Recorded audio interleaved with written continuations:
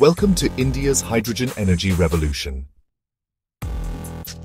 India is on the path to a clean energy revolution, and at the heart of this transformation, hydrogen. National Hydrogen Mission With the National Hydrogen Mission launched in 2021, India aims to produce 5 million metric tons of green hydrogen annually by 2030. But one major challenge remains. How do we transport this clean fuel safely and efficiently?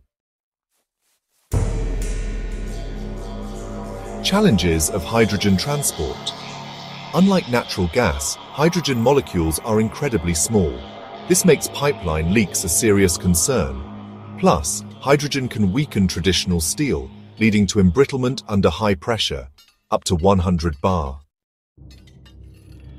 Tata Steel's innovation. To solve this challenge, Tata Steel became the first in India to develop hydrogen-compliant API X65 grade steel pipes capable of transporting 100% pure hydrogen at high pressure.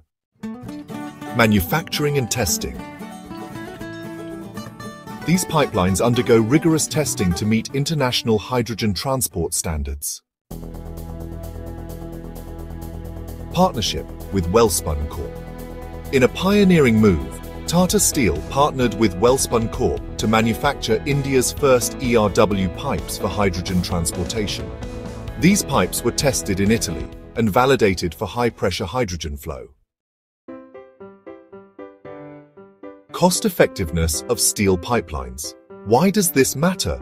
Steel pipelines are far more cost-effective for large-scale hydrogen transport compared to alternatives like compressed hydrogen trucks. Growing demand for hydrogen-ready steel. By 2026, India will require an estimated 350,000 tons of hydrogen-compliant steel over the next five to seven years. A booming market is on the horizon. Government incentives and future outlook. With government incentives boosting hydrogen infrastructure, Tata Steel and Welspun Corp's advancements are laying the foundation for a sustainable hydrogen-powered future. Chapter 10 India as a Global Leader